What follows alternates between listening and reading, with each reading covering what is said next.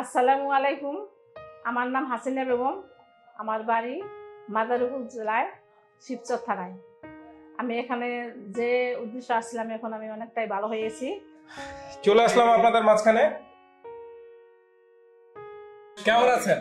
আলহামদুলিল্লাহ অনেক ভালো আছি। দেখতে চলে আসলাম আপনাকে। আপনি নাকি সুস্থ হয়ে গেছেন ভালো হয়ে গেছেন। কেমন আছেন আজকে? আমি যে ভর্তি হয়েছি অনেকটাই ভালো হয়ে গেছি।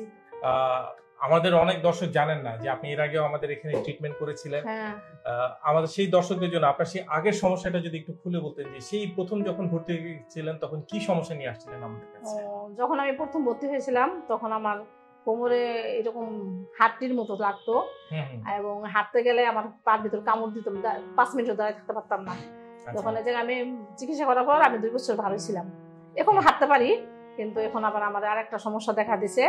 কোমরে আমার চাপ মারে চাপ মারে আচ্ছা সেটা কখন? স্পেশালি কি কখনো বসতে গেলে দাঁড়াতে গেলে নাকি যে কোনো সময় এটা করে হাঁটতে গেলে হাঁটতে গেলে বসতে গেলে চাপ মারে আচ্ছা। আবার পেটের ভিতর থেকে চাপ মারে আচ্ছা কুচকির ভিতর থেকে চাপ মারে কিন্তু এই জায়গায় আমি চিকিৎসা করে এখন মোটামুটি অনেকটাই ভালো হয়ে গেছি। কতদিন ছিলেন ভর্তি? ভর্তি ছিলাম আজকে পনেরো দিন। পনেরো দিন। হ্যাঁ। সেই অবস্থা থেকে আজকে এখন এই যে হাঁটতে গেলে বসতে গেলে উঠতে গেলে মানে কি সেই চাপটা কি এখন আর অনুভব করেন? না এখন চাপটা আমার চলে গেছে। এই যে প্রথমবার ট্রিটমেন্ট করেছিলেন সুস্থ হয়ে বাসায় চলে গিয়েছিলেন হ্যাঁ। কেমন কাটলো এই দুই বছর? মোটামুটি ভালোই লাগছে অনেকটুকুই ভালো কেটেছে। হ্যাঁ, হ্যাঁ। সুস্থ ছিলেন স্বাভাবিক হা- সব হালকা কাজ ভাবে করেন। আমি কাজকর্ম করতে পারছি। আচ্ছা মানে রান্না করতে পারছি গ্যাসে। আচ্ছা যেটা মানে ভর্তি হওয়ার আগে আপনি চিন্তা করতে পারতেন না সেই কাজগুলো আপনি অনেক কিছু আপনি করেছেন। হ্যাঁ হ্যাঁ করেছি। তো এখন এই যে আবার যে ভর্তি হয়েছেন এই পনেরো দিন পরে এখন কি অবস্থা আপনার? এখন মোটামুটি ভালোই লাগতেছে। আপনি ওভারঅল ভিতরে ভিতরে কি বুঝছেন আপনি? আগের থেকে এখন ভালো আছেন? হ্যাঁ অনেকটা ভালো। ওকে সো আপনার মতো যদি এরকম আরও অনেক রোগীকে আপনি দেখতে পান তাদেরকে কি সাজেস্ট করবেন আপনি? বলব জানো ডাক্তারের কাছে ডাক্তার অনেক ভালো চিকিৎসা নেন। কেন বলবেন এই কথা? আমি ভালো হয়েছি এই জন্য আপনার একটা বিশ্বাস আছে? হ্যাঁ। এই যে আপনি যে ভর্তি ছিলেন পনেরো দিন কেমন দেখেছেন? রোগীদেরকে সুস্থ না না না অনেক ভালো।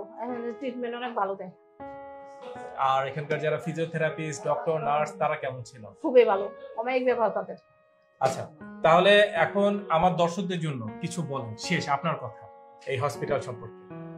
এই হসপিটাল আমার অনেকই ভালো লাগছে এবং আমি সুস্থ হয়েছি। দর্শকরা আপনারাও জায়গায় আসবেন এবং চিকিৎসা নেবেন। আলহামদুলিল্লাহ। আলহামদুলিল্লাহ আসসালামু আলাইকুম। দর্শক শুনলেন তো? সুস্থতা শুধুমাত্র সময়ের ব্যাপার।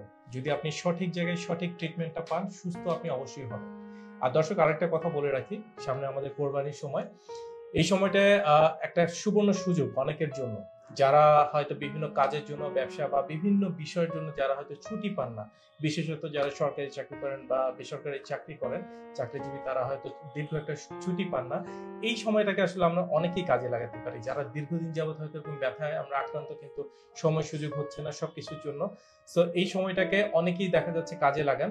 আর যেহেতু একটা কোরবানির সময় একটু কাটাকাটির বিষয় আছে, কিছু দুর্ঘটনা ঘটতে পারে, সেই বিষয়গুলোতে আমরা সবাই কিন্তু অবশ্যই অবশ্যই একটু সতর্ক থাকব। ভালো থাকবেন, সুস্থ থাকবেন, আসসালামু আলাইকুম। আমরা জানি আপনার প্রিয়জন আপনার জন্য কতটা গুরুত্ব বহন করে। প্রপার ডায়াগনোসিস কনসালটেশন পেইন ও প্যারালাইসিস চিকিৎসা, পুনর্বাসন আমাদের সব আয়োজনই সবসময় আপনাদের জন্য চব্বিশ ঘণ্টা খোলা। আমরা চাই না আপনারা বারবার আমাদের কাছে ফিরে আসুন তবুও আমরা আছি সব সময় সর্বদা আপনাদের পাশেই। ডিপিআরসি হসপিটাল লিমিটেড আস্থা বিশ্বাস ও নির্ভরতায় অবিচল।